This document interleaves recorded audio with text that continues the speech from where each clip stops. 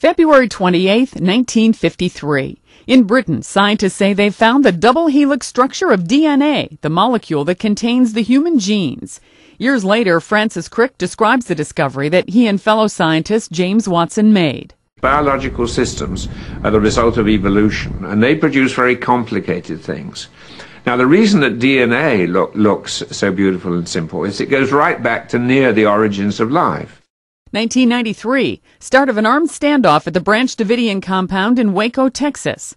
Federal agents try to arrest religious leader David Koresh for stockpiling guns and explosives.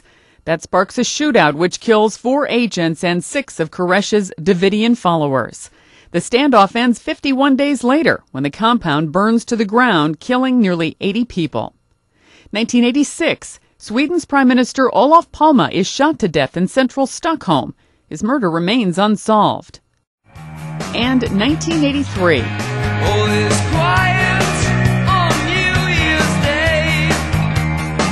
Rock group U2 releases its War album. Among the tracks, New Year's Day and Sunday Bloody Sunday. Today in History, February 28th. Sandy Kozel, The Associated Press.